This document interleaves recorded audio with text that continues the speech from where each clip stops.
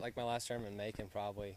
I really wanted to win it, but um, it's nice playing well in front of the home crowd. Um, I saw a lot of buddies today came out and watched me, and especially my brother and my family, my mom, dad, my swing coach, uh, Bobby Hicks, and Peter Persons. A lot of guys who have been who helped me out not only with golf but with life.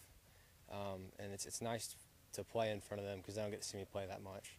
And uh, I really wanted to win, but if not, I, I would have been okay with it.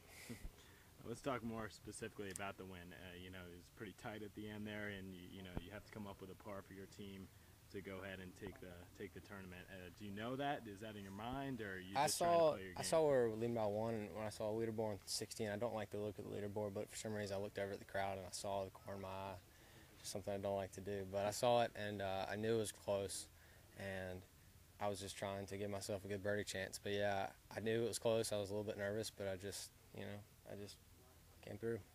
Great. And uh, last question: where, where do you think this takes Georgia? This you know first big win in the season, and uh, It's nice to win again as a team. Um, you know, I think it's our confidence back. Uh, I think that our four and five guy right now, um, they're they've been competing a lot in the qualifiers, and it was very close this last qualifier for our four, qualifying for the fourth and fifth spot for this tournament. So.